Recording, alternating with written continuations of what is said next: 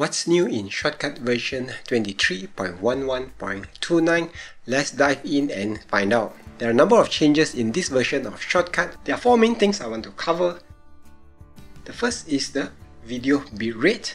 So if you select a video clip and click on properties and you go over to this menu, there's a new view bitrate menu and when you select this, you have this uh, chart that comes up and it shows you the actual bitrate of your video.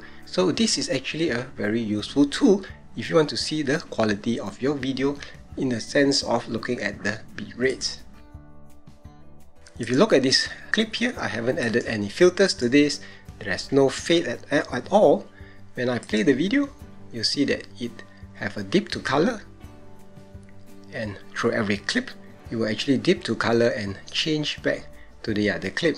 And the reason for this is this new feature here uh, with this filter which is the track auto fade video which means it applies on the track level. If I turn it off, this effect will be off.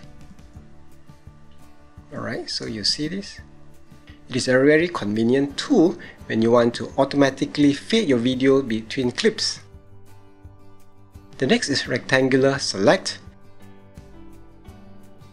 Click anywhere on your timeline and select multiple clips and your clips are all selected. It makes moving your clips so much easier. If you do not want to use this rectangle selection feature, you can turn it off in the settings, timeline and turn off rectangle selection. I am just going to leave it on because I think it is a good thing. The last feature is the keyframe ease in and ease out. This is how it looks like. This is a sample of the text let me just show you by playing this video.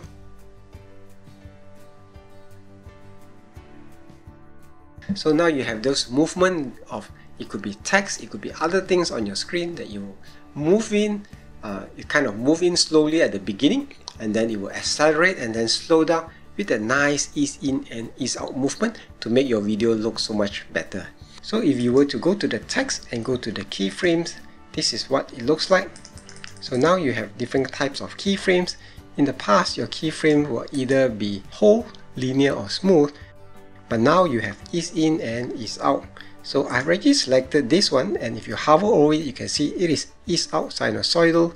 Let's look at change it to ease in sinusoidal and you will have this effect where the text moving fast and it's kind of slow down and then it moves out again.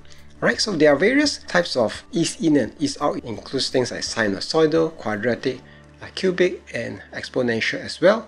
You can use it for any filter that has keyframes in it. So these are the new things in Shotcut version 23.11.29.